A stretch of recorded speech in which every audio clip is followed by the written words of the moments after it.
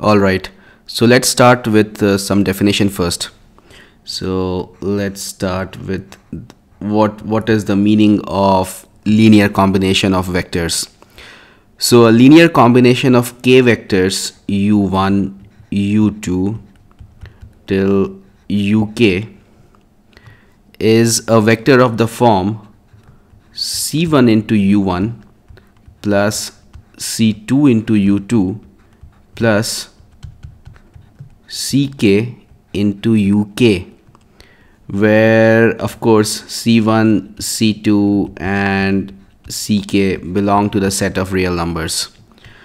So for example let's take an uh, let's take a more real example. Um, so say the vector 104 all right.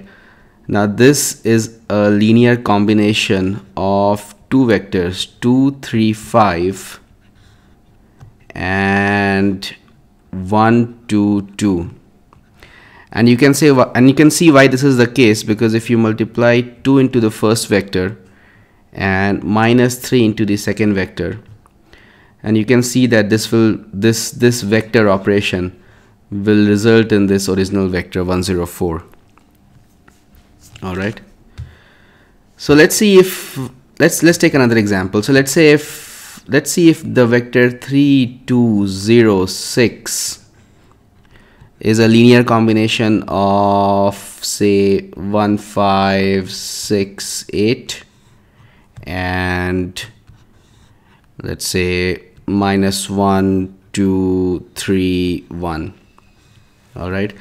So for this vector to be a linear combination of these two vectors there must exist two scalars c1 and c2 such that c1 into this vector plus c2 into this vector must result in this vector 3206 so let me simplify the RHS here. And and by now you of course you know you know how can we uh, simplify RHS here? So it will be c1 plus sorry c1 minus c2 and 5c1 plus 2c2 then 6c1 plus 3c2 and the last element here would be 8c1 plus c2 and this should be equal to 3206 now we already know that if two vectors are equal they need to have the same number of components.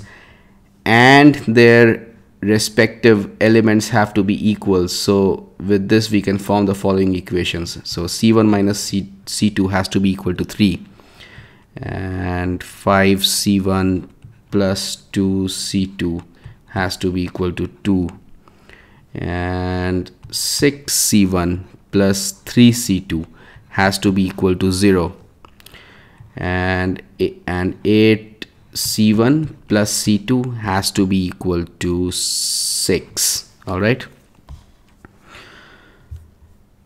So from equation 3 this guy we get c2 equal to minus 2 c1 right?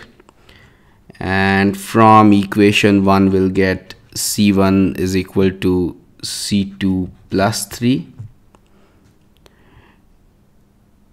and we already know what c2 is right from equation 3 so we can plug in the value here so this will become minus 2 c1 plus 3 so you know using these two equations we can see that c1 will be 1 and c2 will be minus 2 so let's check if these values of C1 and C2 satisfy other equations. So let's see the fourth equation. All right. So 8 into C1 will become 8 into 1 and plus C2. So C2 is minus 2. So this will be 6. So this equation is satisfied by uh, this C1 and C2 value.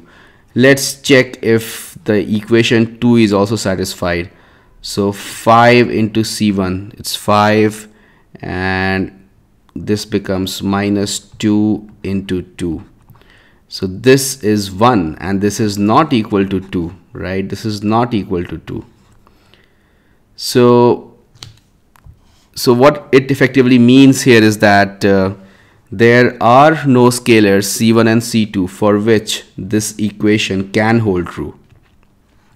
And hence 3206 this vector can never be expressed as a linear combination of these two guys these two vectors. All right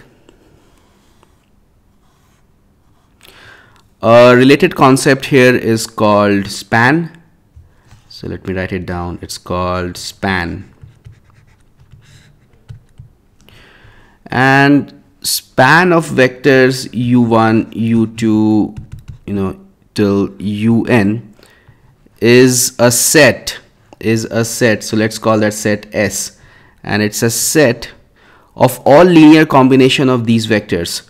So this set will have vectors of the form c1 u1 plus c2 u2 plus cn un such that c1 c2 and cn belong to the set of real numbers.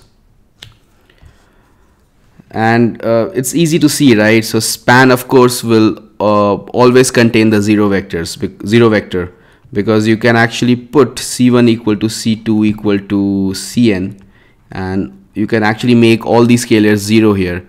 And what you will get is a zero vector.